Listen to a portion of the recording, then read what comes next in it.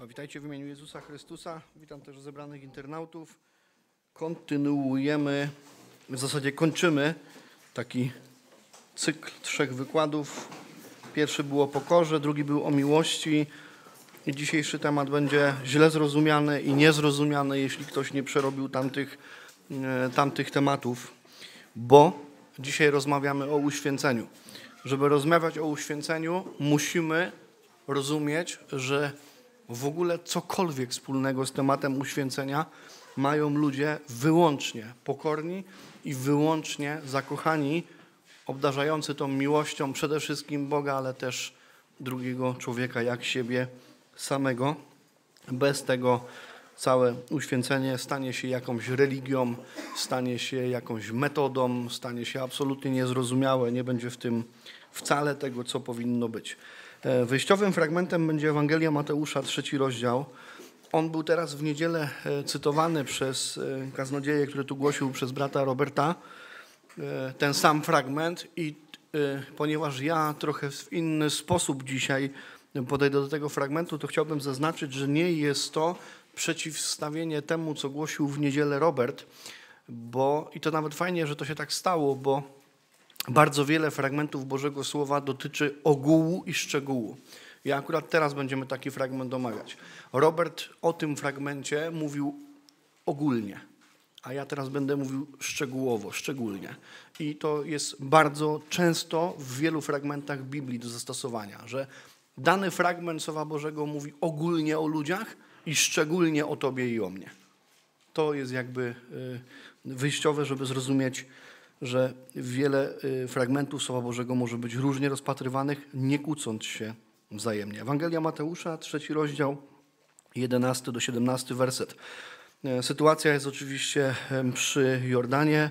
Chrzci Jan Chrzciciel i mówi takie słowa. Ja, gdy chrzczę, zanurzam was w wodzie ze względu na opamiętanie. Za mną jednak idzie mocniejszy niż ja. Nie jestem godzien nosić mu sandałów. On was będzie chrzcił, zanurzając w Duchu Świętym i ogniu. W ręku trzyma sito. Dokładnie przesieje wszystko, co jest na jego klepisku. Ziarno zbierze do spichrza, plewy natomiast spali w niegasnącym ogniu. W tym czasie z Galilei nad Jordan przybył do Jana Jezus. Chciał być przez niego ochrzczony, Jan jednak próbował go powstrzymać. To raczej ja powinienem być ochrzczony przez ciebie, przekonywał, a ty przychodzisz do mnie? Lecz Jezus mu odpowiedział, teraz ustąp. Uczyńmy zadość wszelkiej sprawiedliwości. I Jan ustąpił. A gdy Jezus został ochrzczony i wychodził z wody, otworzyły się nad nim niebo. Wtedy zobaczył, jak Duch Boży niczym gołębica stępuje i na nim spoczywa. Rozległ się też głos z nieba. Oto mój ukochany Syn, źródło mojej radości. Nic nowego się nie dzieje w tej historii opisanej e, przez ewangelistę. Nic nadzwyczajnego się nie dzieje. Nic, co nie miało miejsca wcześniej. Takie oczyszczenia, takie chrzty, to była w zasadzie norma w tamtym Izraelu. E, w zasadzie co rabi, to chrzest. I tutaj jakby Jan Chrzciciel nie dokonuje nic nadzwyczajnego, nie, nie dokonuje nic e, niemożliwego. E, chrzci ludzi, zanurza ludzi w wodzie, ale mówi coś bardzo wyjątkowego.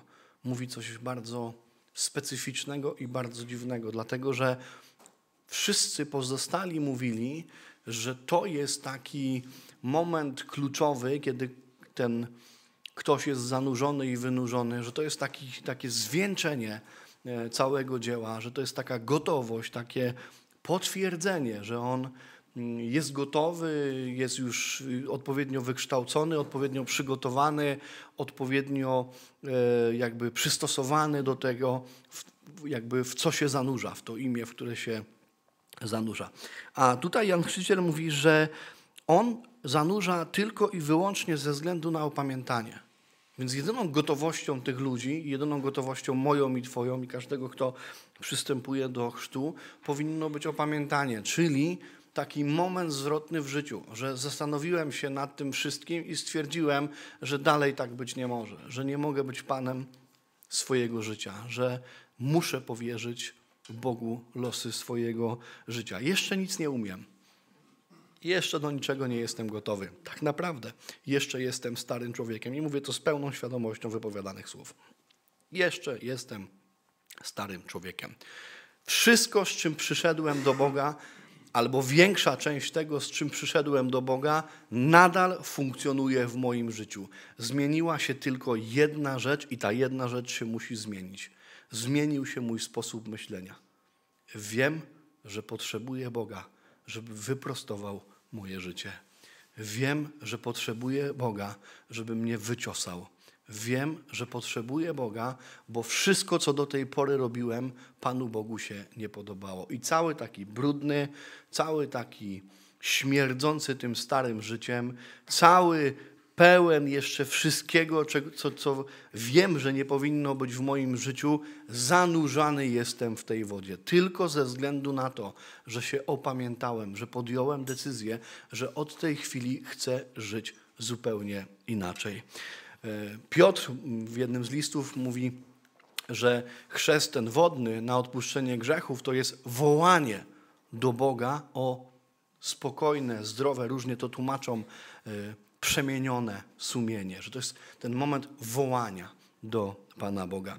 I Jan mówi, że on tych ludzi chrzci tylko ze względu na opamiętanie. Dalej mówi, że, że po tym wszystkim jednak wydarzy się coś nadzwyczajnego. Po nim przyjdzie ktoś mocniejszy niż Jan Chrzciciel. Zresztą my, kiedy e, chrzcimy ludzi, ja zawsze podkreślam te słowa, że ja tylko chrzczę z powodu opamiętania, ale po mnie musi przyjść większy, któremu ja nie jestem godzin nosić nawet sandałów.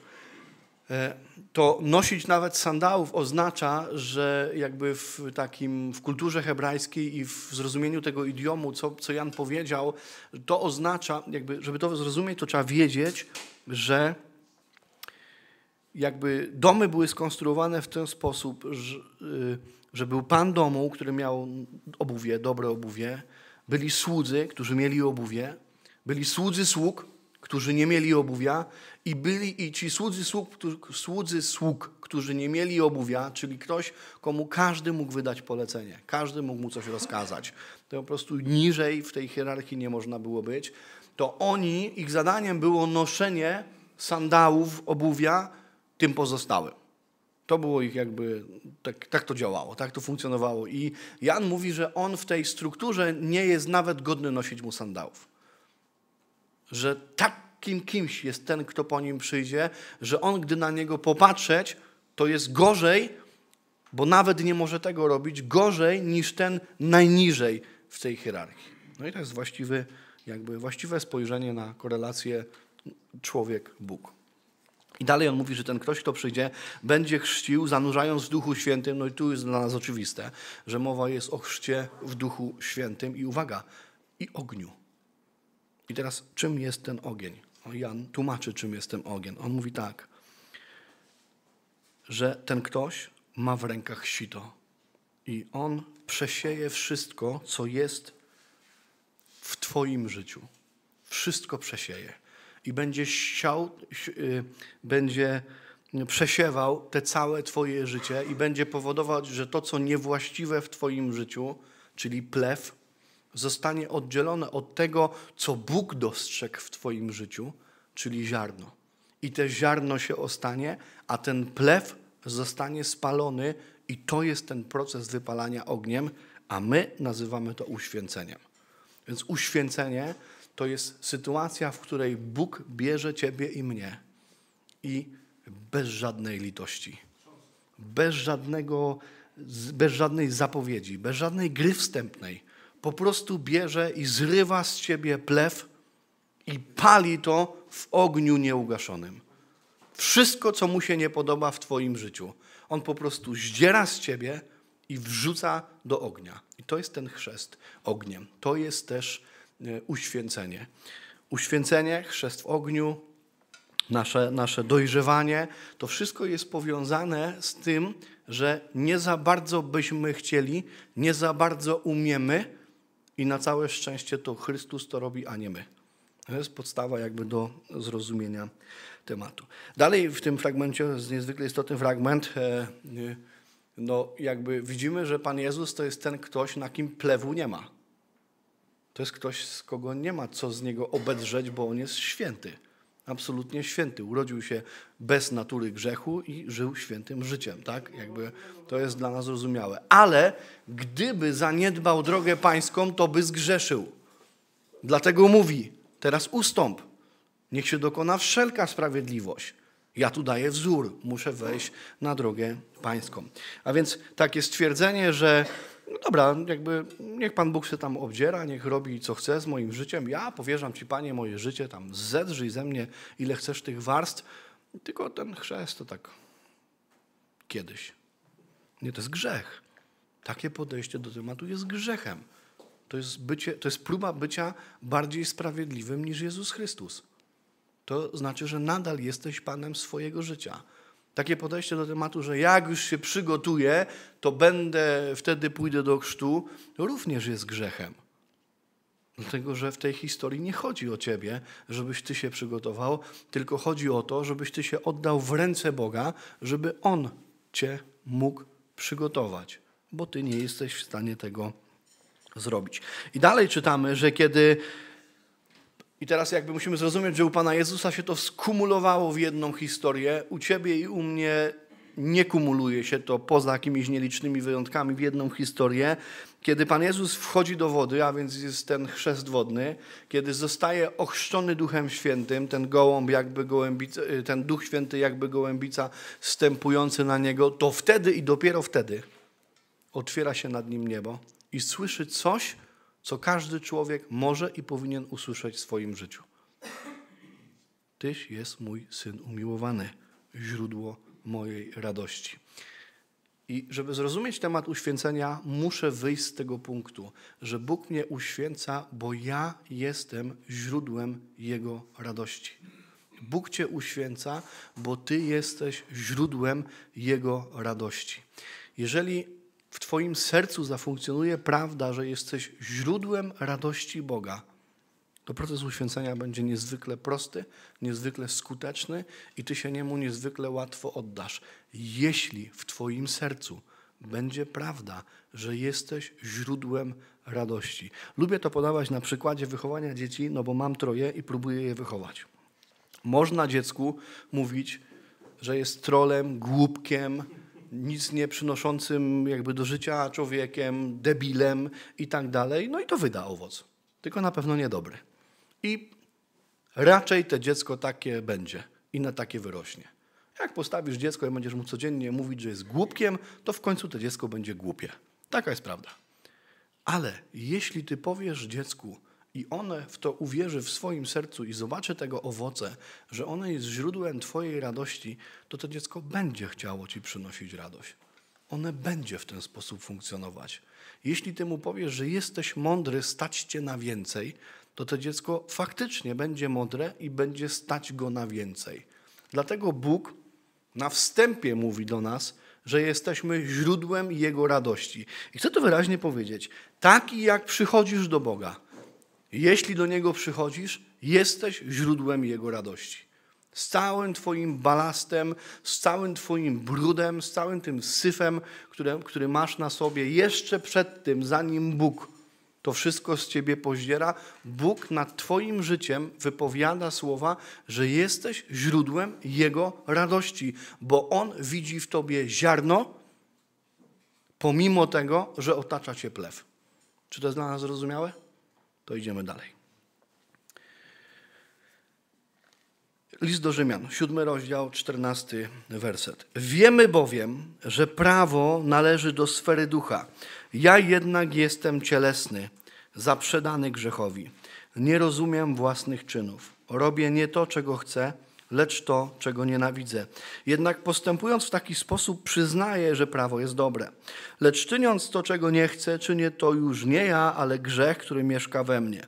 Przekonuję się więc, że nie mieszka we mnie to, co jest w moim ciele dobro. Bo chociaż odczuwam pragnienie dobra, wykonania tego, co dobre, brak. Nie czynię dobra, którego chcę, lecz popełniam zło, którego nie chcę. Jeśli jednak czynię to, czego sam nie chcę, to już nie czynię tego ja, tylko grzech który mieszka we mnie. Odkrywam zatem pewne prawo. Otóż, gdy chcę czynić dobrze, narzuca mi się zło. W moim wewnętrznym człowieku zachwycam się prawem Bożym, lecz w moich członkach dostrzegam inne prawo, walczy one przeciwko prawu, za którym opowiada się mój rozum i bierze mnie w niewolę prawa grzechu, rządzącego w moich członkach. Nędzny człowiek, nędzny ja człowiek, kto mnie wybawi z tego ciała śmierci? Jak ktoś nie rozumie tego fragmentu Słowa Bożego, to po prostu go jeszcze nie przeżył. I prawdopodobnie jest gdzieś na bardzo dużym wstępie do chrześcijaństwa. Bo ten fragment Bożego Słowa mówi o standardowej i zawsze prawdziwej historii w życiu człowieka wierzącego. Otóż nawracasz się, upamiętałeś się, wołasz do Boga o spokojne sumienie, wiesz już, co jest dobre, a co złe rozumiesz i masz w sercu prawdę, że jesteś źródłem Bożej, Bożej radości. Rozumiesz, że potrzebujesz być uświęcony i chcesz żyć jak święty. I naprawdę chcesz. A potem jedziesz samochodem. Albo robisz milion innych rzeczy, przy których nagle nie wiadomo czemu robisz nie to, co powinieneś i nie to, co tak naprawdę wewnętrznie jako chrześcijanin chcesz, tylko robisz coś zupełnie odwrotnego. Najczęściej to wybrzmiewa z kazalnicy w ten sposób, jak ktoś opowiada, i to każdy opowiada po pewnym czasie.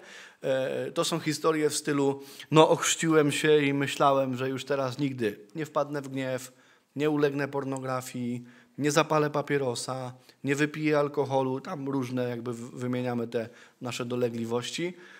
I się trzymałem, i nagle przestałem się trzymać, no i wpadłem w gniew Znowu skorzystałem z pornografii i tak dalej, i tak dalej. Chciałem zrobić coś innego, wiedziałem, że powinienem zrobić coś innego, wydawało mi się, że już zrobię coś innego, a potem przyszła brutalna rzeczywistość, że zrobiłem dokładnie odwrotnie. Przeżyliśmy to już? No pewnie, że tak. Jak ktoś dłużej chodzi z Panem, to doskonale wie, o czym ja mówię. I Paweł, który opisuje ten stan, zadaje takie pytanie, kto mnie może wybawić z tego ciała śmierci? Jak się od tego uwolnić? To wiecie, to jest bardzo poważna sprawa dla kogoś, kto przeżywa Boga. Ja pamiętam, gdy się e, nawróciłem, gdy zacząłem poszukiwać e, Boga, e, ponieważ moja żona była taką katoliczką, nie denominacyjną, tylko z serca była tą katoliczką, no to próba sił pierwsza była w kościele katolickim, a ja bardzo mocno przeżywałem świadomość grzechu. U mnie to polegało na tym, że kiedy ja się upamiętałem przede wszystkim z tego, że nie jestem wcale moralnie poukładanym człowiekiem. Że wcale mój kręgosłup nie jest taki sztywny i nie jest taki moralny. Dlatego, że gdy, gdy moje dziecko się urodziło, znacie moje świadectwo, gdy moje dziecko się urodziło, to ja byłem dosyć poukładanym człowiekiem. Miałem dobrą pracę, mieszkanie, e, piękną, mądrą żonę. E, wszystko wypracowaliśmy własnymi rękami z, tam, z różnych powodów jakby nikt nam nic nie dał, jakby, roz, jakby rozumiecie, tak? mieliśmy jakieś tam zasady, Sylwia pracowała, bardzo ciężko pracowała w jednym z marketów e, od rana do nocy. Ja pracowałem wtedy chyba też w tym markecie, czy jeszcze gdzieś w tym markecie i na budowach od rana do nocy. No i jakby wszystko, wiecie, no tymi rękami i jakby wydawało się, że no super, super. Wzór do naśladowania. Potem w ogóle stałem się funkcjonariuszem, więc już w ogóle jakby. No i Bóg mi pokazał, jakie jest moje serce, więc jakby ja mocno przeżywałem to, że wcale nie jestem taki moralnie poukładany, że w oczach Boga, jakby w, nie w oczach Boga, tylko w mierniku względem tego, jak święty jest Bóg, to ja wypadam naprawdę blado. I mocno zacząłem przeżywać istnienie grzechu w moim życiu i zrozumienie, że jestem owładnięty grzechem. Ponieważ się chciałem od tego uwolnić, a jedyną rzeczą, którą jakby znałem, bo o której mi żona opowiedziała na tamten czas, potem ja jej wytłumaczyłem, jaka jest prawda, ale na tamten czas to ja myślałem, że ona zna tą prawdę i ona mi powiedziała o spowiedzi. No więc ja poszedłem do tej spowiedzi w kościele rzymskokatolickim. Słuchajcie, jak zacząłem się spowiadać, to facet, ksiądz, który tam E, siedział w tym konfesjonale, to aż wyszedł z tego konfesjonału. Zobaczyć, co to w ogóle za UFO przyszło. Bo ja mu tak sprawę wykładałem. Jakby ja chciałem, jakby rozumiecie, chciałem się uwolnić od tego żądła śmierci. Ja naprawdę chciałem żyć inaczej. Nie umiałem. Sylwia mi opowiedziała, że spowiedź załatwi sprawę. No to tam poszedłem. No i jakby... I naprawdę byłem święty. I tam mniejsza o te głupoty, co on tam stukał, nie stukał. Kiedyś pamiętam przy którejś tam spowiedzi, jak mu powiedziałem, że to chyba on bardziej grzeszy, jak, jak zaczęliśmy rozmawiać, to mi nie chciał odstukać. Mu powiedziałem, że mam gdzieś to jego wystukanie, chodzi o Boga w tej całej historii. Na tamten czas mi wystukał te, te słynne trzy stuknięcia. No i wiecie, taki... I mniejsza o te stuknięcia, tylko ta świadomość, że ja wyznałem te grzechy, to było szczere i prawdziwe z mojego serca, żeby była jasność, y, jakby, a o fałszywości tych doktryn dowiedziałem się później, więc one nie miały na tamten moment takiego znaczenia. E, no więc jakby taki naprawdę uwolniony od tej historii grzechu, taki szczęśliwy, że, że jestem wolny, że wybaczył mi to Bóg, że mogę zacząć jeszcze raz, że teraz będę układał to życie tak, jak powinno być, na takiej pełnej, świętej petardzie. Wyszedłem z kościoła, zrobiłem trzy kroki i zacząłem grzeszyć. Z powrotem.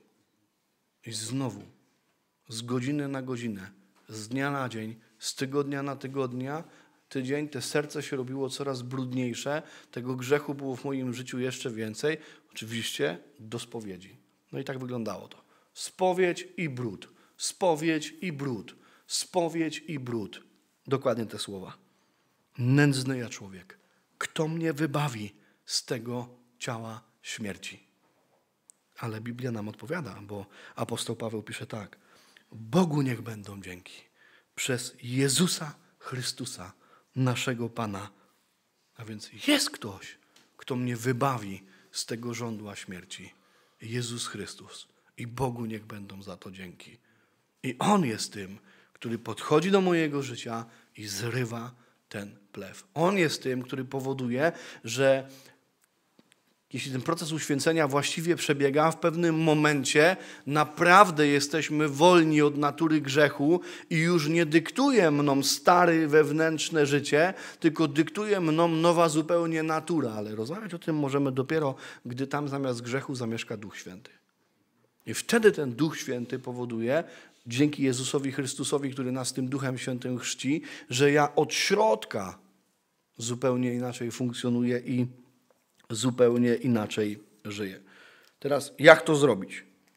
Jak dojść do tego momentu? Co takiego zrobić, żeby właśnie, jakby żebyście jeszcze dobrze rozumieli, kiedy czytacie Biblię w języku polskim, warto jest to wiedzieć, że kiedy natrafiacie na słowo grzech e, w liczbie pojedynczej, to mowa jest tylko i wyłącznie za każdym jednym razem o naturze mieszkającej w środku człowieka, tego nieświętego, nieprzemienionego, tego jeszcze nieuświęcanego, tego jeszcze bez Ducha Świętego. To jest mowa o naturze. Kiedy czytamy o grzechach w liczbie mnogiej, jest mowa o uczynkach, które powoduje ta natura. Grzech, natura grzech powoduje, że grzeszymy że robimy różne rzeczy, które się Panu Bogu nie podobają, które są przekroczeniem Jego przykazań. Dlatego Biblia mówi, że Bóg nas uwalnia od grzechu, a więc od natury, i wybacza nam grzechy, czyli uczynki. Nigdzie Biblia nie mówi, że Bóg nas uwalnia od grzechów, od uczynków, i nigdzie Biblia nie mówi, że Bóg nam przebacza grzech, czyli naturę. Jeszcze raz uwolnieni jesteśmy od grzechu, liczba pojedyncza, mowa o naturze mieszkającej w starym człowieku i Bóg przebacza grzechy. Mowa o uczynkach, które czy chcesz, czy nie chcesz powodujesz, dlatego że kieruje tobą te żądło śmierci grzech. Rozumie? Już ok? Teraz. Jak z tego wybrnąć? Jak to ogarnąć? Co takiego muszę zrobić? A no wiem, znam drogę pańską. Dzieje 2,38. Upamiętajcie się, dajcie się oszyć na odpuszczenie grzechów waszych, a otrzymacie dar Ducha Świętego. Wspaniale, no to już wiem o co w tym chodzi, to zrealizuję to, odfajkuję, odhaczę i będę zbawiony. Mhm. Nie w tej historii. Jak ktoś do tego tak podchodzi, to sobie może tam odfajkować ile razy chce i nic to nie da. A jednocześnie jest to droga pańska. Jak ktoś chce to pominąć, to choćby nie wiem, co w swoim życiu odfajkował, nie będzie zbawiony. Więc jak? Jak do tego podejść?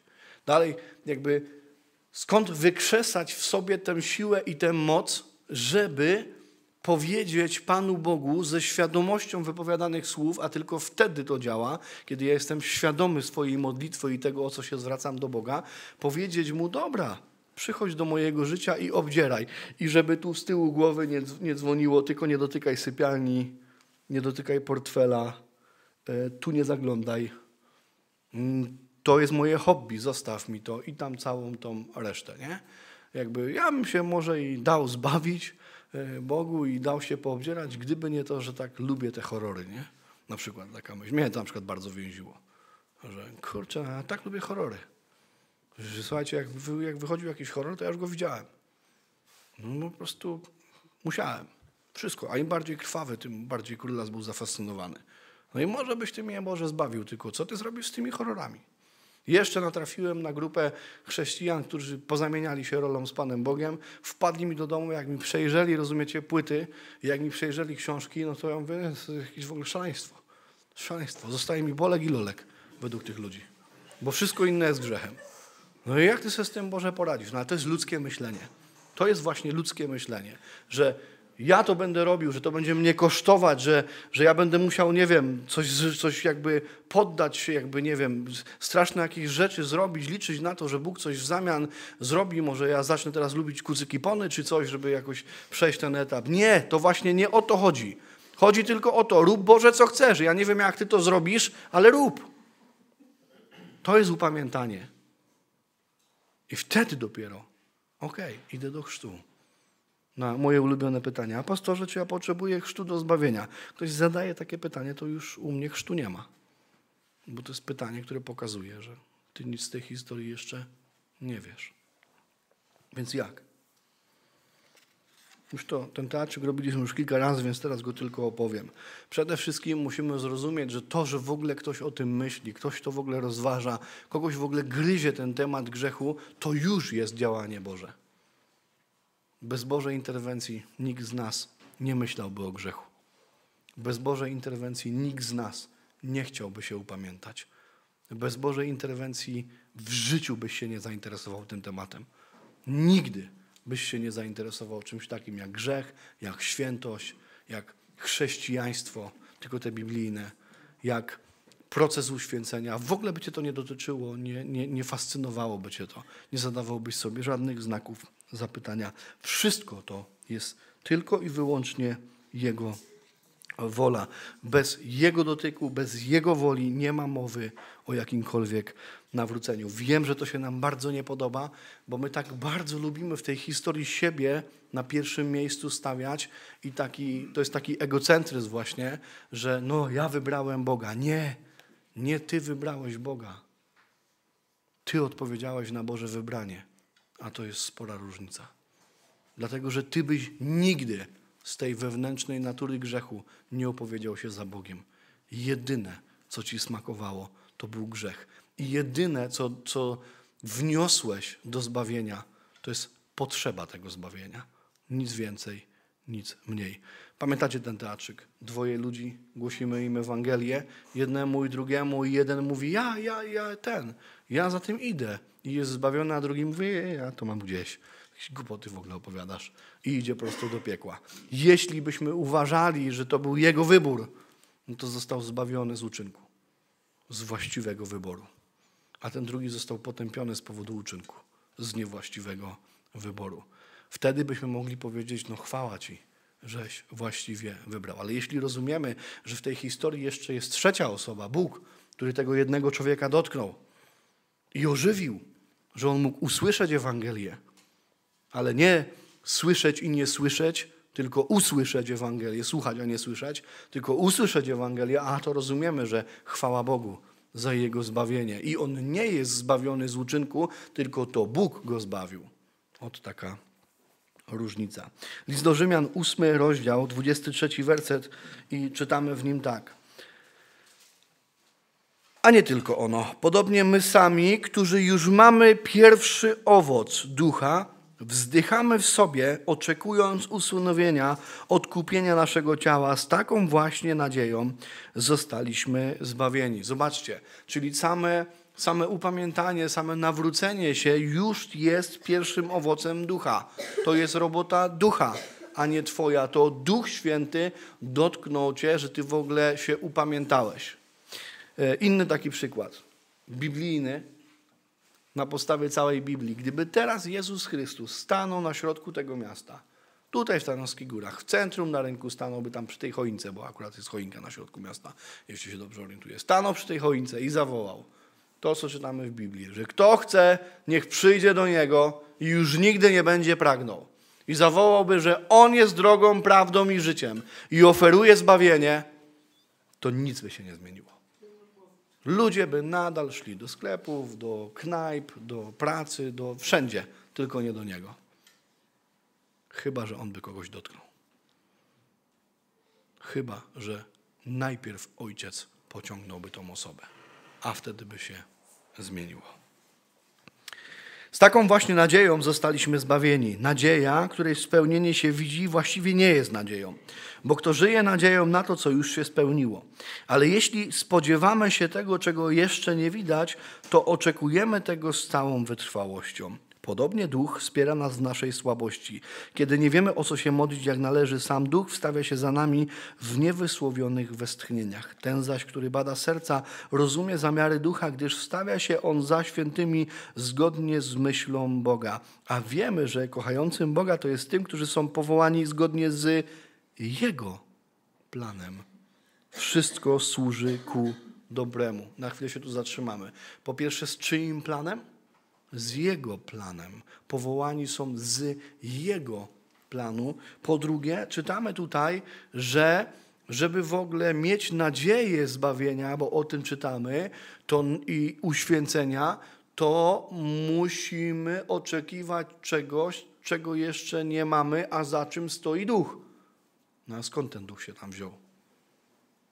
W Twoim i moim życiu. Ano z nieba, a nie z Twojego i mojego z Twojej, mojej mądrej decyzji wywołanej naturą grzechu. No, słyszycie, jak to nielogicznie brzmi.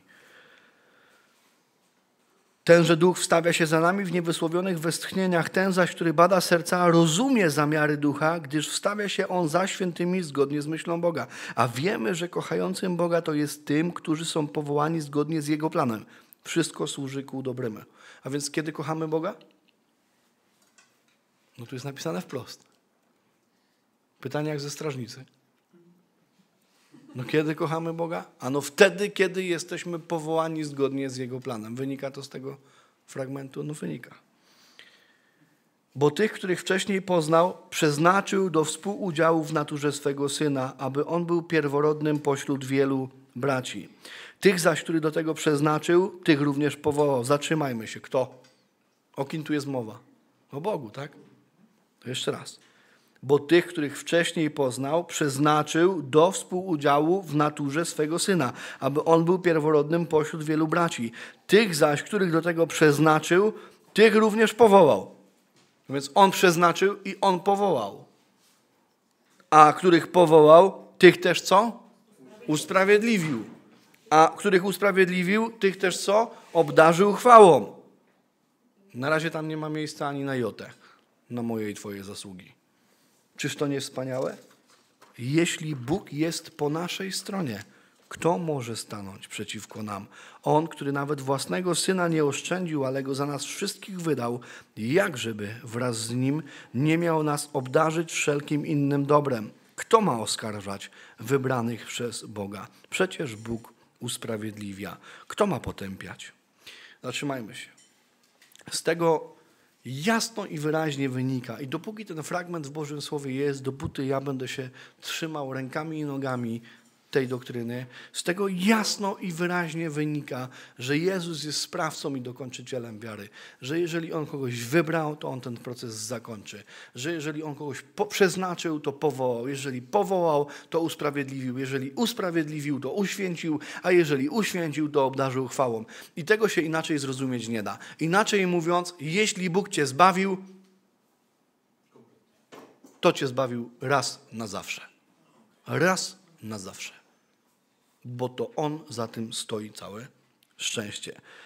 Tu jest napisane, że nikt nie może oskarżać wybranych przez Boga. No więc skoro nikt nas nie może oskarżać, jeśli jesteśmy w tym fragmencie Bożego Słowa, no to nikt. Bo co? Bo przecież Bóg usprawiedliwia. Dlatego, że my musimy zrozumieć w końcu ideę i pełną Ewangelię. Wiem, że teraz na internetach wszyscy mówią o pełnej Ewangelii, ale mają coś, jakieś głupoty na myśli. Pełna Ewangelia brzmi tak. Bóg zmarł za Twoje i moje oczywiście grzechy. Amen? Te sprzed wczoraj? Tak? Amen? Te z dzisiaj? A te za 10 lat, które zrobisz? A i to jest pełna Ewangelia, że Bóg zmarł za wszystkie moje grzechy i usprawiedliwił mnie od wszystkich grzechów, które popełniłem, popełniam i popełnię. A jak się komuś wydaje, że nigdy grzechów nie popełni, ma rację, wydaje mu się. Pożyje, zobaczy. Bóg zbawił mnie z wszystkiego. Usprawiedliwił mnie z wszystkiego. Powołał mnie jakby bezwzględnie na zawsze raz, porządnie. To jest pełna Ewangelia. Spokojnie, ja nie namawiam nikogo do grzeszenia. O tym jeszcze dzisiaj zdążę powiedzieć. Jezus Chrystus, który umarł więcej, który zmartwychwstał i przebywa po prawicy Boga, On przecież stawia się za nami. Więc tu jest napisane tak. Jak ja się wyłożę i się potknę i się przewrócę, to w tym samym momencie Jezus stoi przed swoim Ojcem i mówi, ale moment, ja za Bartka ręczę życiem. On jest mój, on jest mój. Po czym podnosi mnie i idziemy dalej. Tak wygląda moje i Twoje chrześcijaństwo. Co nas odłączy od miłości Chrystusowej? Udręka, ucisk czy prześladowanie, głód, nagość, niebezpieczeństwo czy miecz, jak zostało napisane z powodu Ciebie, co dzień nas zabijają, traktują jak owce przeznaczone na rzeź. Lecz mimo tego wszystkiego odnosimy wyraźne zwycięstwo dzięki temu, który nas ukochał, gdyż jestem tego pewien, że ani śmierć, ani życie, ani aniołowie, ani potęgi niebieskie, ani teraźniejszość, ani przyszłość, ani moce, ani wysokość, ani głębokość, ani żadne inne stworzenie nie zdoła nas odłączyć od miłości Bożej, która jest w Chrystusie Jezusie, naszym Panu. Co jest wyrazem Bożej miłości, która jest w Jezusie Chrystusie, w naszym Panu? Zbawienie. Zbawienie jest wyrazem tej miłości.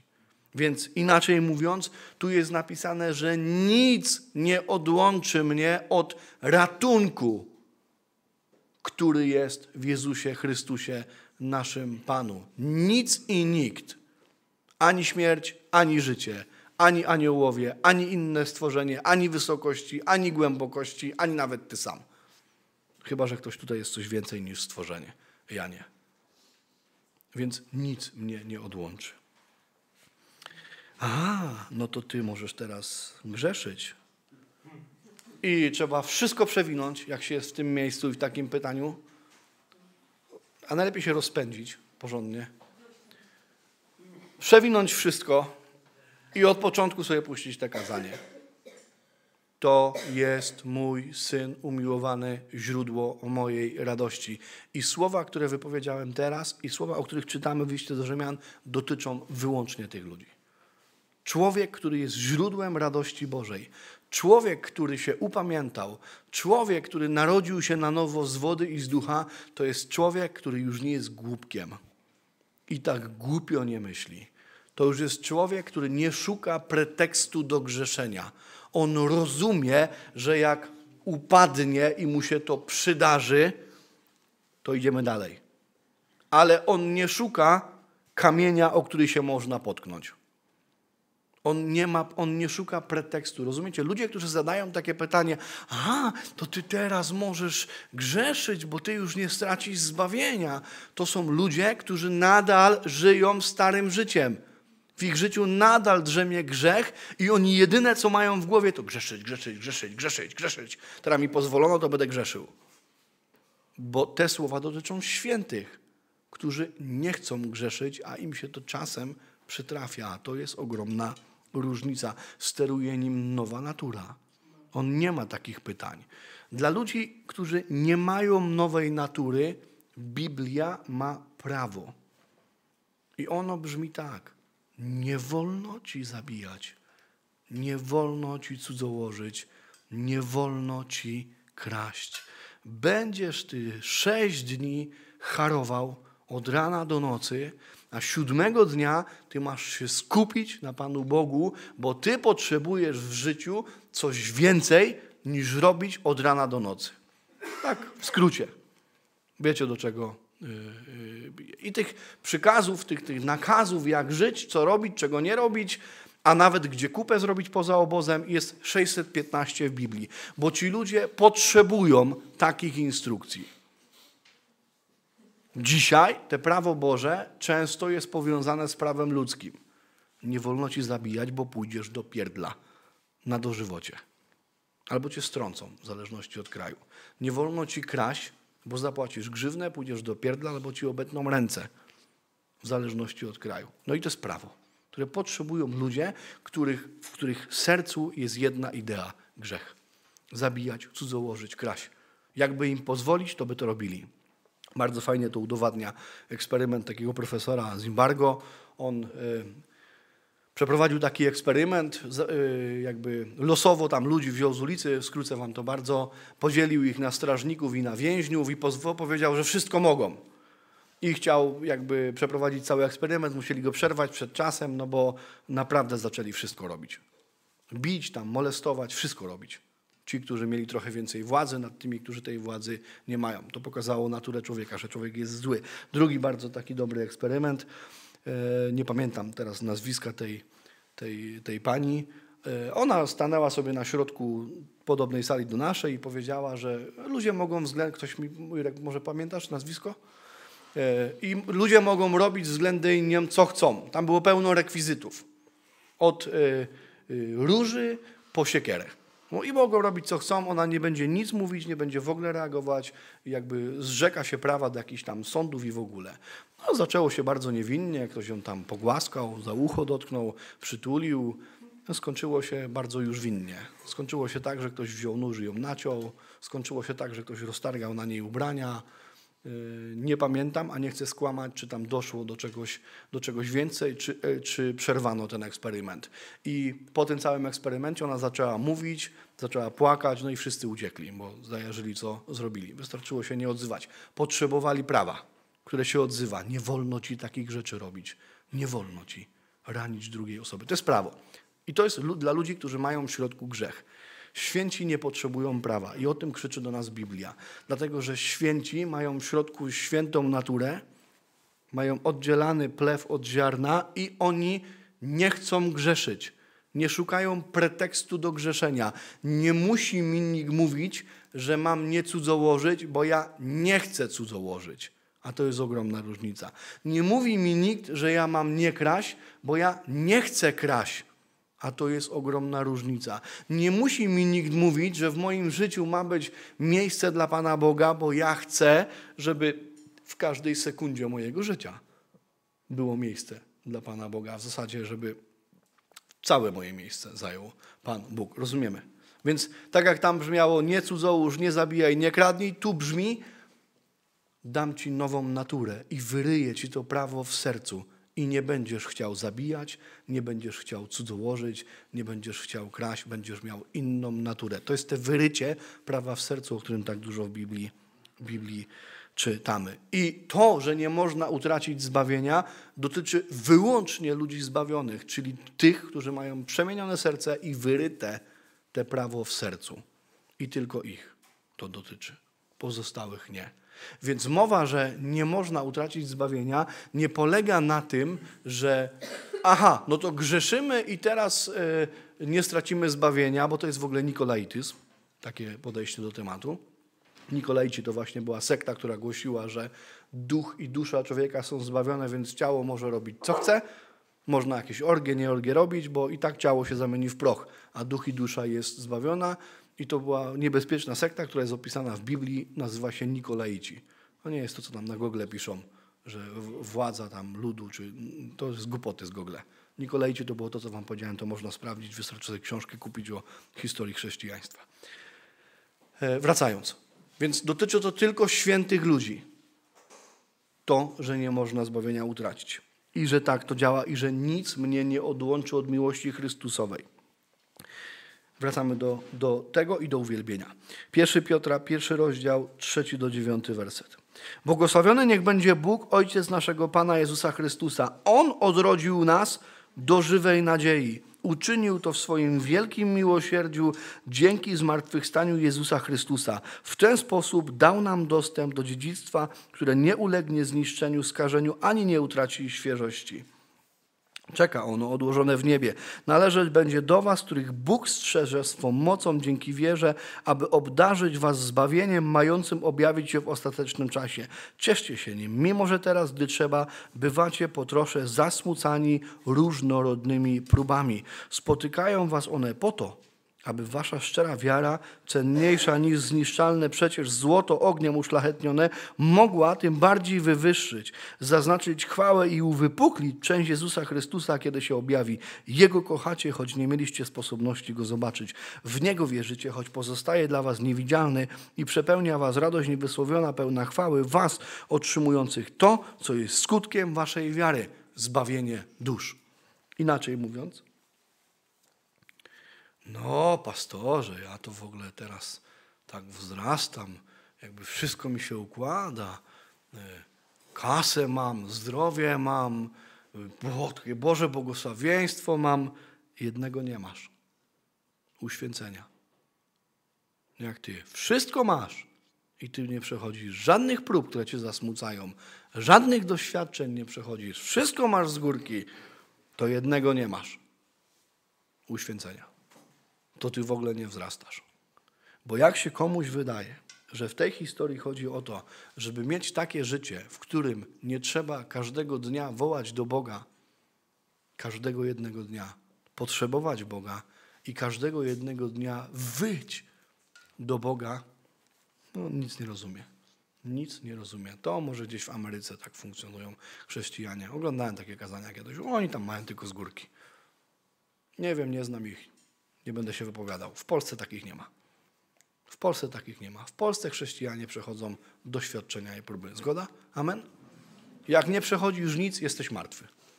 Jesteś martwy. Jesteś po prostu martwy. Nic ci nie dolega, nic, niczym się nie borykasz, o nic nie, nie, nie wołasz do Boga, każdego dnia nie potrzebujesz Boga, Bóg ci nie zapewnia chleba na ten dzień, czyli następnego dnia znowu muszę o Niego wołać, to jesteś zwyczajnie martwy, nie masz nic wspólnego z uświęceniem. Jak wszystko jest z górki, to się zaczym, bo coś w tej historii jest nie tak. Chyba, że jest to krótki okres wytchnienia. Ale po co te doświadczenia? No tu jest napisane po co. Żeby cię wypalić. Żeby właśnie te plewy z ciebie zedrzeć. Żeby je spalić. A no właśnie po to, żeby ta twoja wiara była szlachetna. Żebyś ty coś w tej historii się rozwijał. Żebyś Ty był wypróbowany, a co najważniejsze, żebyś Ty był przepełniony radością niewysłowioną, jeżeli chodzi o Jezusa Chrystusa, bo On z każdej próby i z każdego doświadczenia nie tylko Cię pouczy, to jeszcze Cię z tego wyciągnie. I to buduje naszą wiarę. Ja mam taki duchowy pamiętnik, też już to kilka razy mówiłem, ale jest dużo osób nowych. Taki duchowy pamiętnik, na każdej stronie mam jedną datę. Dzisiaj mamy 15 grudnia, tak? Tak? Dzisiaj mamy 15 grudnia, więc powiedzmy, że na tej kartce w tym moim duchowym pamiętniku u góry jest napisane 15 grudnia. I tu jest rok 2007, 2008, 2009, 2010, 2011. I jedno zdanie tam sobie zawsze notuję, że znowu mnie wnerwiła Sylwia. Czy to się kiedyś skończy? Kropka, nie? To na przykład 2008 rok i 2009 był tak zapisany. Ale w 10, a znowu ta sama kartka, bo rok po roku.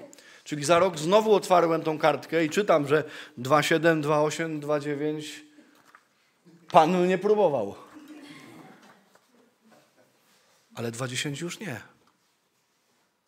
2,10 to był moment, w którym ja zobaczyłem, że ja mam najpiękniejszą, najmądrzejszą, w ogóle nie irytującą, potem mi przeszło, nie irytującą żonę. I stwierdziłem, że Bóg jest niesamowity.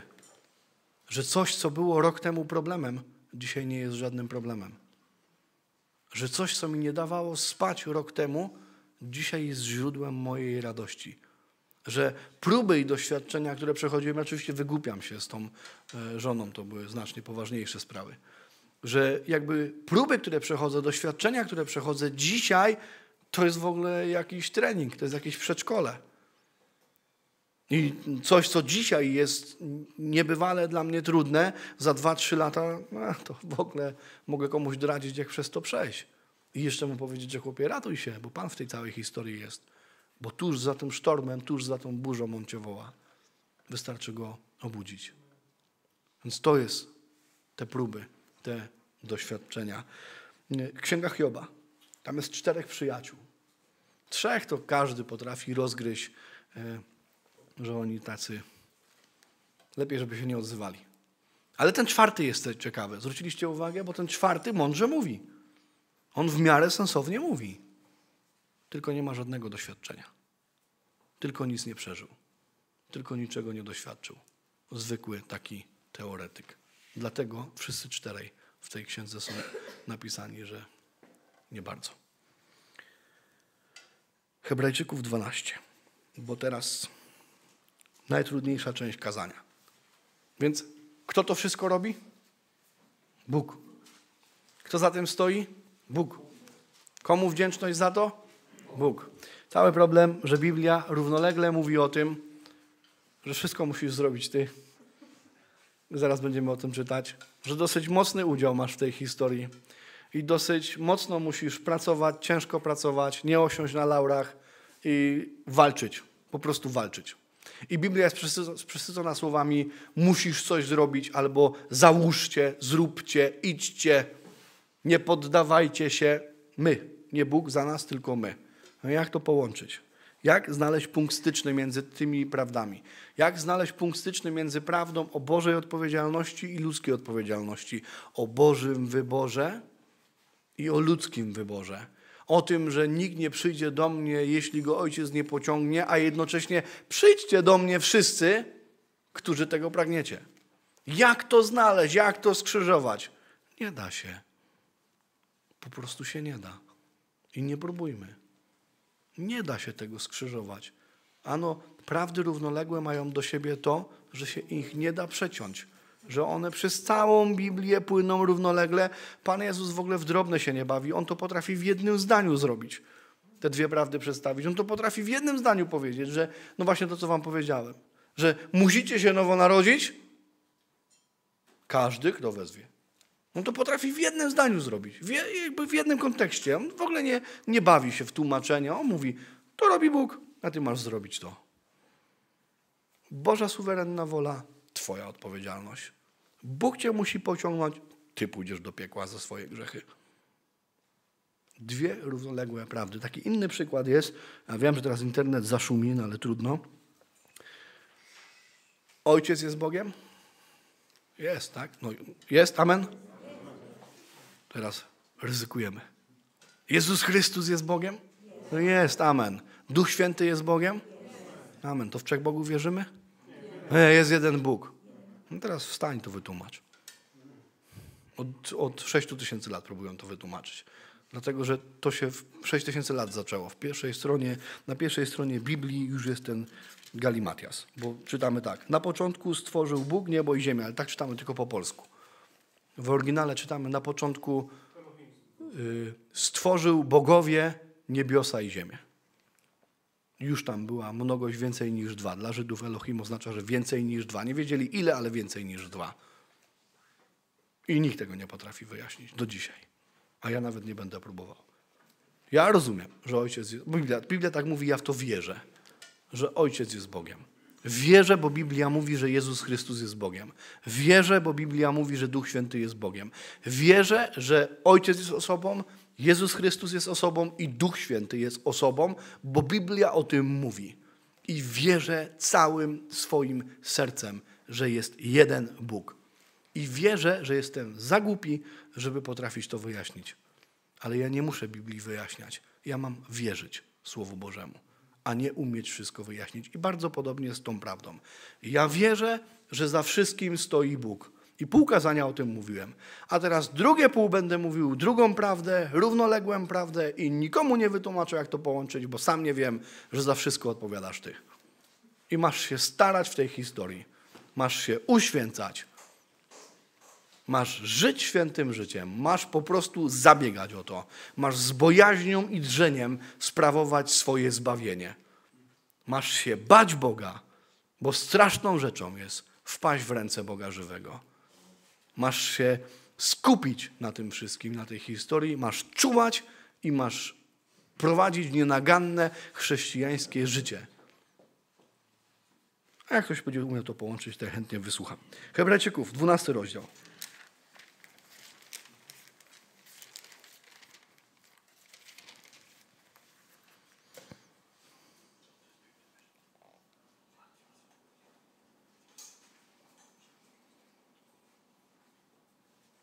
Powiedzmy, że od, a, od początku. Przeto i my, mając około siebie tak wielki obłok świadków, złożywszy z siebie wszelki ciężar i grzech, który nas usidla, biegnijmy wytrwale w wyścigu, który jest przed nami. Kto ma złożyć ten grzech? Kto ma się obedrzeć z tego? My. Przed chwilą czytaliśmy, że On. Patrząc na Jezusa, sprawcę i dokończyciela wiary, który zamiast dokonać należytej mu radości, wycierpiał krzyż, nie bacząc na jego hańbę i usiadł na prawicy tronu Bożego. Przeto pomyślcie o tym, który od grzeszników zniósł tak wielkie sprzeciwy wobec siebie, abyście nie upadli na duchu utrudzeni. Wy nie opieraliście się jeszcze aż do krwi w walce przeciw grzechowi. Pastorze, ale to jest takie ciężkie. Co jest ciężkie? No nie pijcie ludzie niewierzący potrafią nie pić. Chrześcijanie, ludzie niewierzący, nie mający nic wspólnego z Bogiem, korzystający ze światowych terapii, potrafią z siebie wykrzesać i zaprzeć się samych siebie i po prostu więcej do kieliszka nie sięgnąć. To ty z Bogiem nie potrafisz tego zrobić? No nie kpijmy ze świętych rzeczy. No ja mam takich znajomych, którzy z Bogiem nie mają nic wspólnego, ale oni postanowili zaprzeć się samych siebie i po prostu nie piją. Robią to w dziwny dla mnie sposób. Pilnują się nawet, żeby nie zjeść ciasta z likierem, bo mu się włączy siódmy rejon mózgu, jak on zje to ciasto z likierem. I zaraz pójdzie w cuk. No więc on nie je tego ciasta, bo on wie, że nie może zjeść tego ciasta. To jest człowiek niewierzący człowiek wierzący nie umie się zaprzeć samego siebie, no to trzeba Ewangelię zwiastować. No po prostu trzeba Ewangelię zwiastować, bo Pan Jezus powiedział, że jeżeli ktoś się nie zaprze samego siebie i nie będzie nosił krzyża, to nie jest go godny. Koniec, kropka. I nie ma dyskusji. Tu jest napisane, że nie opieraliście się jeszcze do krwi w walce przeciw grzechowi. No nie opieraliście się. Tu jeden brat mi kiedyś składał świadectwo, że walczył w swoim życiu z pornografią i nie dawał rady. Nie dawał rady, zawsze mu się tam klikło, włączyło i ten. No to mądrze zrobił. Wykasował sobie internet. Odciął się od tego całkowicie. Nie korzystał z tego. Nie pamiętam już, czy komórkę sobie też zmienił, żeby nie mieć tam dostępu. Ja bym tak zrobił. Komórkę taką starą, tylko na cyfry. Że jedyne, co może zrobić, to zadzwonić do pastora, nic więcej. I Snake'a zagrać, tak i nic cię nie pociągnie, bo Snake nie jest erotyczny. I proste. Da się? Da się. No i to jest walka z grzechem aż do utraty krwi. Ja pamiętam, ja przechodziłem straszny problem z furią. Ja byłem człowiekiem, który, którym władała furia. Władała mną furia. Wiedziałem, że Bóg mnie obdziera z tego i dawał mi takie doświadczenia, że oh. i nie dawałem rady. Teraz już mam wymienione drzwi, ale jeszcze niedawno bym był w stanie pokazać drzwi z łazienki. Niedawno jeszcze. Sebastian wymieniał. Dziura na wylot, no jak Hulk. Bo wpadłem w furię po przyjściu z pracy. Coś tam dziecko zrobiło, coś Sylwia powiedziała i poszło. I poszło, bo ja byłem jak, jak petarda. Odpalić, koniec. Nie, już nie szło zatrzymać. No ale trzeba walczyć z grzechem. Więc u mnie to wyglądało tak, że Bóg robił swoje, bo właśnie to jest do zrozumienia, że Bóg niech robi swoje, a my róbmy swoje. Więc Bóg robił swoje, pracował nade mną, przede wszystkim zsyłał doświadczenia. A ja robiłem swoje. Na początku to było tak, że jak wpadałem w furię i wiedziałem, że wpadam w tą furię, to po prostu wychodziłem z domu. I średnio wychodziłem z domu trzy razy dziennie. Do lasu. I tam las był mój. To, co się drzewa nasłyszały ode mnie, to co, to, co ja tam robiłem, to wstyd opowiadać. Ale po pewnym czasie już musiałem wychodzić tylko raz dziennie. Po pewnym czasie wychodziłem raz w tygodniu. Potem wychodziłem raz w miesiącu. A teraz wychodzę, nie wiem, raz na pół roku. A pewnie przyjdzie dzień, że nie będę musiał wychodzić wcale. Bo wiedziałem, że muszę walczyć ze swoim grzechem. I zapomnieliście o napomnieniu, które się zwraca do was jak do synów. Synu mój, nie lekceważ karania pańskiego, ani nie upadaj na duchu, gdy on cię doświadcza. Bo kogo Pan miłuje, tego karze i chłoszcze każdego syna, którego przyjmuje. Jeśli znosicie karanie, to Bóg obchodzi się z wami jak z synami, bo gdzie jest syn, by, którego by ojciec nie karał? A jeśli jesteście bez karania, które jest udziałem wszystkich, wtedy jesteście dziećmi nieprawymi, a nie synami. No, bardziej wprost nie może być, że mamy taką tendencję, że czasem w naszym życiu jest uświęcenie, czasem w naszym życiu Bóg oddziela plewę od ziarna, czasem jest naprawdę pod górkę, czasem tyłek po prostu boli i kark boli, ale my oczywiście wynoś się diable. Nie, to, to, wszystko na diabła zaraz. A może to Pan Bóg cię kara, chłoszcze i wychowuje. Tylko z jednego powodu, bo cię kocha. Dlatego mówiłem, że jeżeli ktoś nie rozumie tematu miłości, on nie ma szans dzisiaj. Dlatego dwa kazania temu, kazanie temu było o miłości. No, tylko dlatego cię kara, że cię kocha. On tych, których nie kocha, nie kara. A jak to jest, że ci bezbożni mają tak z górki? No wszystko mają. Ha, bo Bóg ich nie kocha. Bo Bóg ich nie kocha. W ten sposób, o którym teraz rozmawiamy, żeby była jasność. Bo Bóg ich nie wychowuje. Może tak będzie precyzyjniej. A mnie wychowuje. Dlatego czasem mnie smaga, bo mu na mnie zależy. Znowu przełożymy to na bardzo zrozumiały przykład. Ja mam czasami styczność z naprawdę niegrzecznymi dziećmi. Naprawdę. Takimi, że po prostu. No i w ogóle nie reaguje. Jeszcze się potrafię uśmiechnąć. W ogóle potrafię powiedzieć, dobra, to nie przejmuj się tam, rozrabia to rozrabia. Ale jak moje dziecko rozrabia, to jest wojsko. Ale czemu? Bo je kocham. Bo go wychowuję bo chcę, żeby ono właściwie się zachowywało, właściwie wzrastało i kiedyś właściwie wychowało swoje dziecko. Więc pewnie, że się nim w tej historii bardziej przejmuje jak obcym. I na obce nie reaguje, a na swoje reaguje czasem jak w wojsku. I możemy to przełożyć na Kościół. Czasem jestem nie do zniesienia, ja wiem. I wtrącam się tam komuś do życia, ja wiem. I buty mu wkładam do mieszkania, ja wiem. I nos w nie swoje sprawy wciągam, ja wiem. No, ale to świadczy tylko o tym, że tu jest miłość w tej relacji pastor-zbór. Najgorsza sytuacja, jak pastor się nie wtrąca do życia zborowników i tak sobie obok siebie żyją. Oni się w ogóle nie kochają. Ponadto szanowaliśmy naszych ojców według ciała, chociaż nas karali. Czy niedaleko więcej winniśmy poddać się Ojcu Duchów, aby żyć?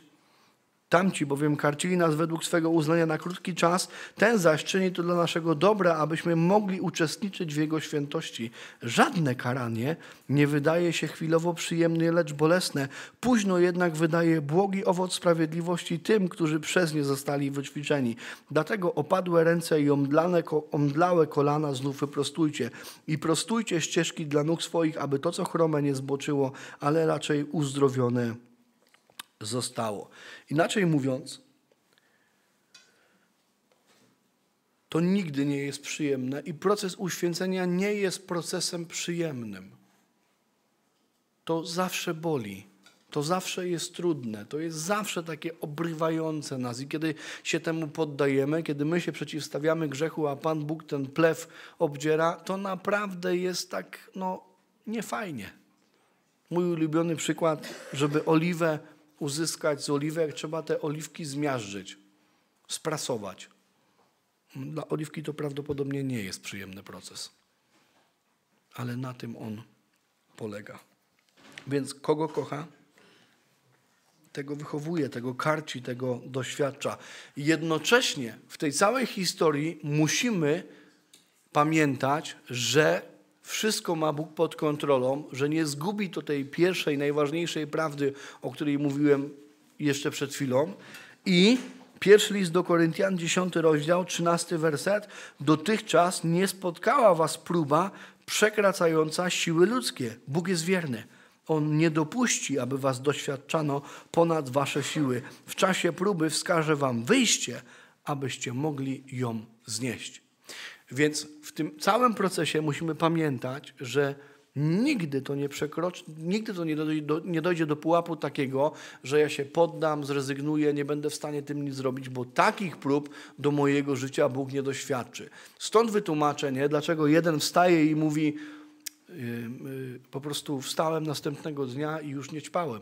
Nie piłem, nie paliłem. Chyba Robert yy, składał świadectwo teraz w niedzielę, tak? No.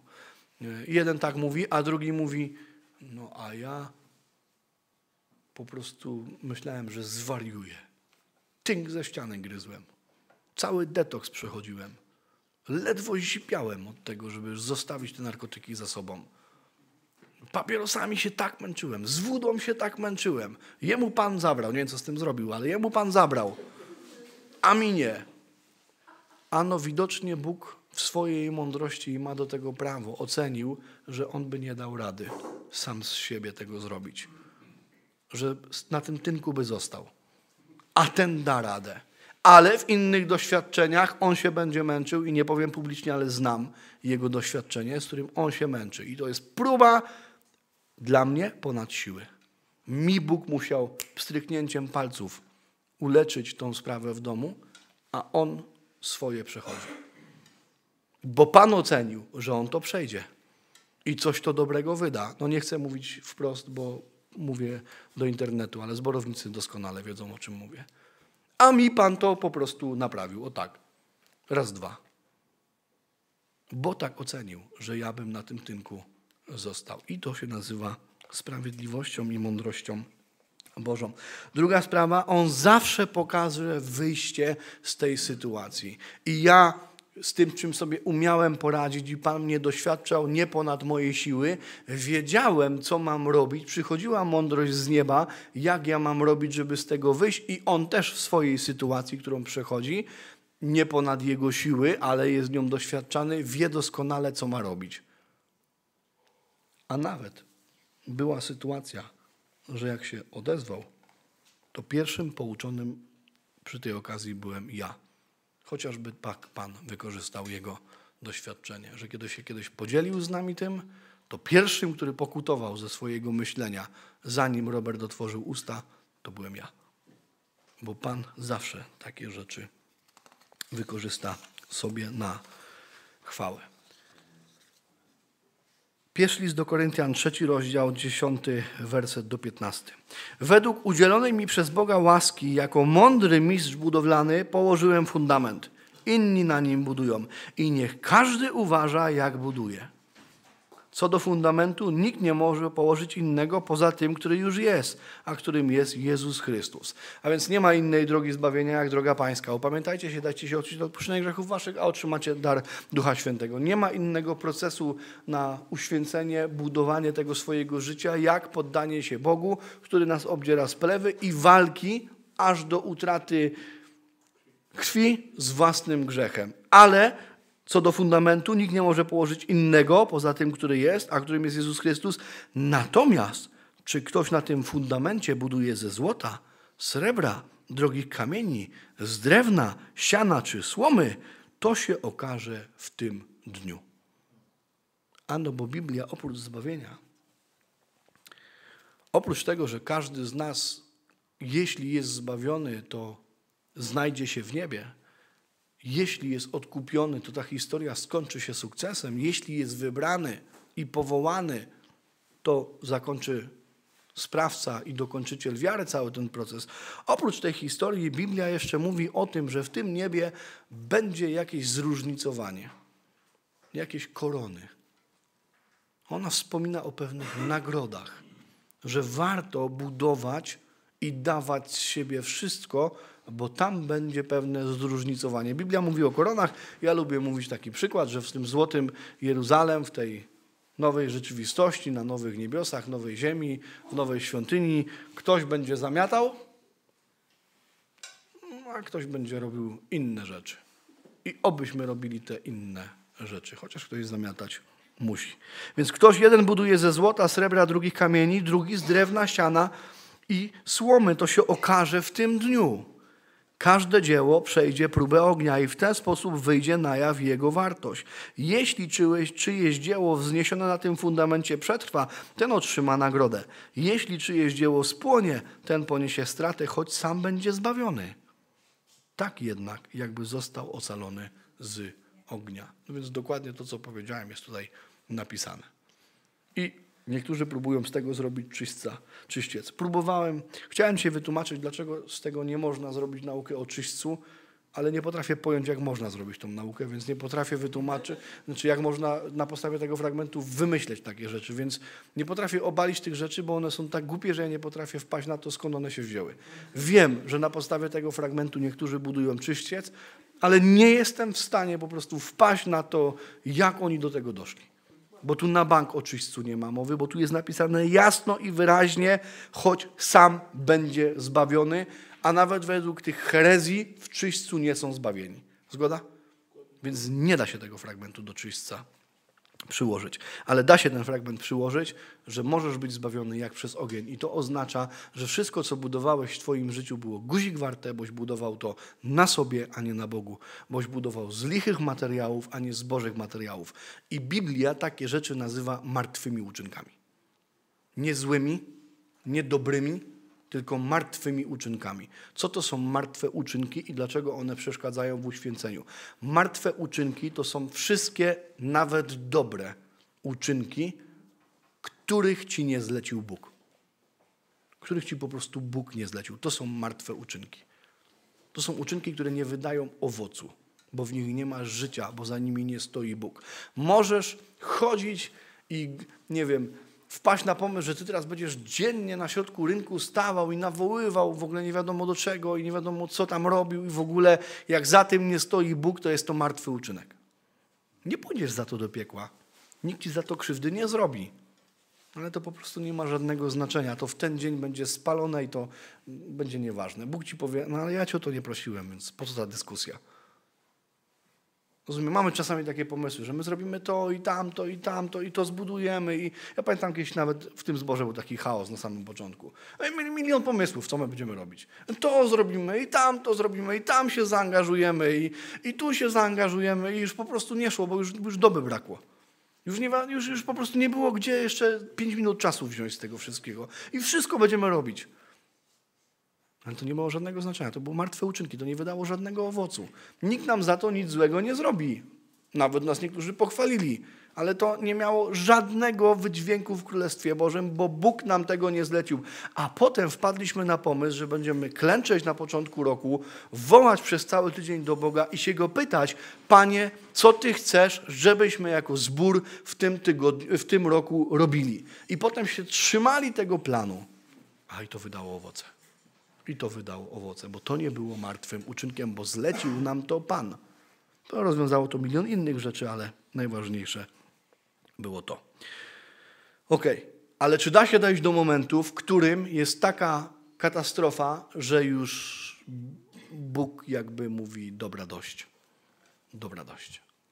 Czyli ten moment, kiedy nie ma żadnej nadziei i nie ma żadnej ratunku. Najchętniej bym powiedział, że nie ma, ale nie mogę tak zrobić bo Biblia mówi o grzechu przeciwko Duchowi Świętemu. Że jest takie miejsce, jest taki moment, jest taka decyzja, jest taka cienka czerwona linia, za którą jest tylko śmierć. I za tej linii już nie ma powrotu. Więc jeśli ktoś bagatelizuje Boże zawołanie, jeśli ktoś, a jeszcze mam czas, a jeszcze mam czas, a jeszcze mam czas, W milionie przypadków jest to prawda. W milion pierwszym przypadku możesz przekroczyć cienką czerwoną linię, za którą jest śmierć. To o zbawieniu. Teraz idziemy dalej. Bóg do ciebie mówi: Mam taki plan do twojego życia. Masz tu mieszkać, to robić i tak działać. Uważaj, bo jest cienka czerwona linia, za którą jest śmierć. Za którą jest po prostu śmierć. Twoja śmierć. Grzech przeciwko Duchowi Świętemu. Najdziwniej omawiany fragment Bożego Słowa. Ewangelia Mateusza, 12 rozdział.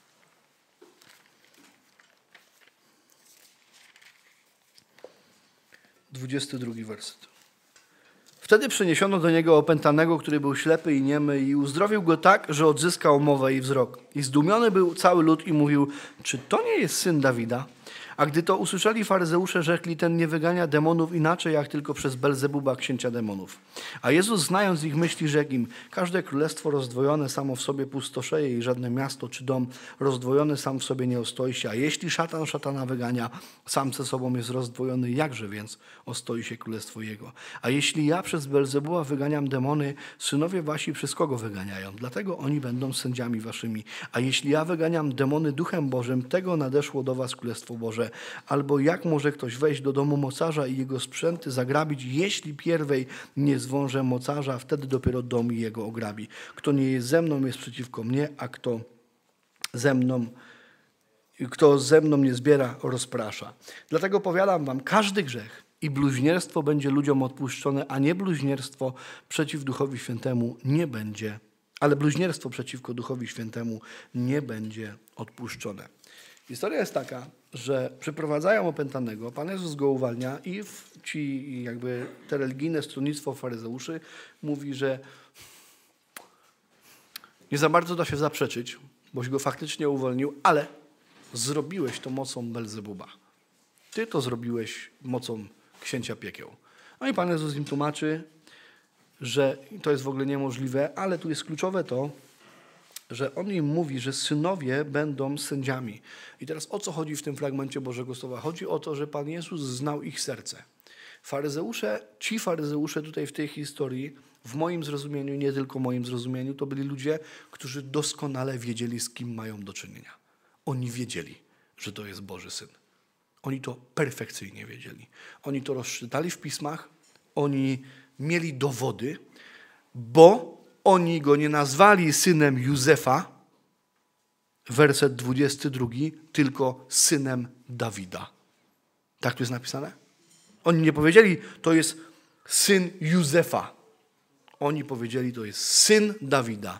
Więc oni wiedzieli, że to jest Mesjasz. Ale nie chcieli stracić swoich religijnych pozycji. Nie chcieli jakby, no wszystko by się rozsypało, co budowali. Wszystko, co budowali, by się rozsypało. W zasadzie się rozsypało. Więc postanowili powiedzieć, że to demony. Postanowili przekroczyć cienką czerwoną linię, mając pełne objawienie, z kim rozmawiając. Mając pełne objawienie, kim jest Jezus Chrystus. A wiemy z Biblii, że to objawienie mogło być skąd? Tylko z nieba mając pełne objawienie, że to jest syn Dawidowy, postanowili iść na śmierć. I Jezus mówi tak: ten grzech nie będzie przebaczony wam ani teraz, ani w przyszłym wieku. Bóg was dotknął. Bóg wam dał objawienie, kim jest Jezus Chrystus.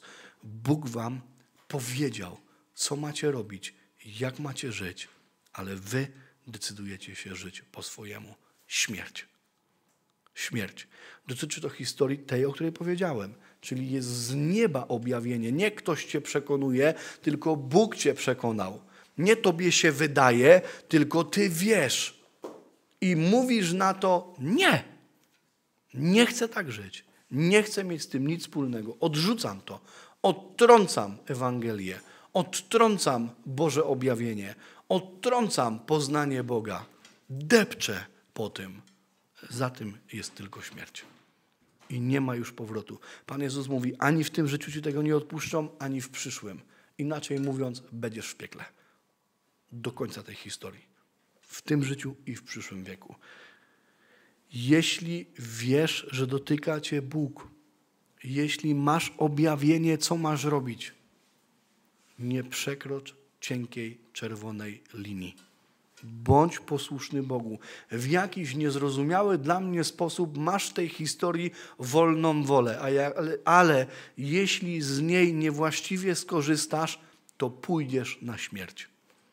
Znam już w tej chwili troje takich ludzi, którzy z pełną świadomością tego, co robią, poszli na śmierć. Poszli na śmierć. I nie ma dla nich żadnego ratunku. Biblia mówi, że nigdy, przenigdy nie będzie im to wybaczone. Oni już umarli, nawet jeśli jeszcze oddychają. Już nie żyją, już ich nie ma. Oni już mieszkają w piekle. To jest tak niebezpieczny stan i tak niebezpieczna historia. I teraz, jak ocenić, w którym ja jestem miejscu? Czy ja przekroczyłem tą cienką czerwoną linię, czy ja w ogóle jestem zbawiony, czy nie jestem zbawiony, czy ja się daję Bogu uświęcać, czy ja się Bogu nie daję uświęcać, czy ja walczę z tym grzechem, czy ja nie walczę z tym grzechem. Najprościej od tyłu. Naprawdę wiemy. Po prostu to wiesz. Po prostu tak jak tu siedzisz, tak jak tego słuchasz, każdy z nas wie. Doskonale zna prawdę o sobie. Nie ma poza ludźmi upośledzonymi umysłowo, nie ma człowieka, który nie wie, gdzie w tej historii jest. Jak walczysz z grzechem, to wiesz, że walczysz z grzechem. Jak tylko wygłupiasz się, że walczysz z grzechem, to wiesz, że tylko wygłupiasz się, że walczysz z grzechem. Zgoda? Amen? Jeżeli jesteś obdzierany przez Boga, to wiesz, że jesteś obdzierany przez Boga. Jeśli nie jesteś obdzierany przez Boga, wiesz, że nie jesteś obdzierany przez Boga. I tyle. Ja wiem doskonale, w którym miejscu w tej historii jestem. Ty wiesz doskonale, w którym miejscu tej historii jesteś. Ale teraz inne pytanie. Jak ja mam ocenić, w którym miejscu tej historii jest on, a on jak ma ocenić, w którym miejscu tej historii jestem ja? Po pierwsze, nie muszę tego robić. To jest podstawowa zasada. A po drugie, jeśli już z jakichś powodów muszę to robić, dokładnie tak. Ja bowiem jestem już złożony na ofiarę. Wybiła godzina mojego odejścia. Toczyłem piękny bój. Biegu kończyłem, wiarę zachowałem. Teraz czeka na mnie wieniec sprawiedliwości, który w tym dniu da mi Pan, sędzia sprawiedliwy, a nie tylko mnie. Da go wszystkim, którzy z utęsknieniem oczekują Jego przyjścia. Na koniec Jego życia będę mógł powiedzieć, w którym On był miejscu. Na koniec Jego życia będę mógł ocenić, że to był mąż Boży i Biblia mówi, by oceniać na koniec życia. Dlatego, i to jest bardzo sprawiedliwe, dlatego, że on w tej chwili może być bomba, najlepszy w ogóle Boży mąż, ale za chwilę wywinie taki numer, po którym będziemy wiedzieć, że o nie, tyś w ogóle nigdy nie był zbawiony nic wspólnego z Chrystusem nie miałeś. I nie będziemy wtedy układać teologii, że on był zbawiony, stracił zbawienie, być może jutro znowu zyska zbawienie, tylko powiemy prawdę. Ten człowiek nigdy nie był zbawiony, on usłyszy, jeśli umrze w tym stanie, od Chrystusa słowa nigdy Cię nie znałem, a nie przestałem Cię na moment znać, może się poznamy znowu. Tak? Z drugiej strony, jeśli on upadnie i wyłoży się i dojdziemy do takiego wniosku, może się tak wydarzyć i oby się w takich historiach tak wydarzało, że on się pozbiera. I nagle wszyscy będziemy widzieć, że no pozbierał się. No przetrwał, to faktycznie był upadek, no długi, bo długi, śmierdzący, bo śmierdzący, trochę się zbierał, ale się pozbierał. Zyskał znowu zbawienie. Co to jest za głupia nauka? To idzie zwariować. Miał, stracił, miał, stracił, miał, stracił, miał, stracił. Trzeba liczyć na to, że Pan się wszczeli w dobry moment. Jak przyjdzie. Jak przyjdzie z powrotem. No bo jak się szczeli w zły moment, no to swojego powołanego zostawi. Bo akurat będzie na spadce. No co to jest za nauka? No nie, będę widział, że pozbierał się, więc dojdę do wniosku, że to był upadek. Ale ostatecznie wydam opinię, jak zobaczę koniec jego życia czy on ten bieg wytrwał. I on tak samo może powiedzieć względem mnie. Na dziś widzi owoce, przynajmniej taką mam nadzieję, widzi owoce, że to jest człowiek Boży. Ale jak wywinę numer, no to powie, że nie jest Boży. Jak się pozbieram, to powie, że Boży tylko wywinął numer, ale się pozbierał. Ale oceni mnie na koniec mojego życia. O, I to jest ta różnica. O swoim zbawieniu wiem. O Twoim zbawieniu wypowiem się na koniec Twojego życia. Żyj tak, żebym się wypowiedział dobrze, a ja będę żył tak, żebyś Ty się wypowiedział o moim zbawieniu dobrze. A w tym wszystkim niech nam pomoże Pan. Amen.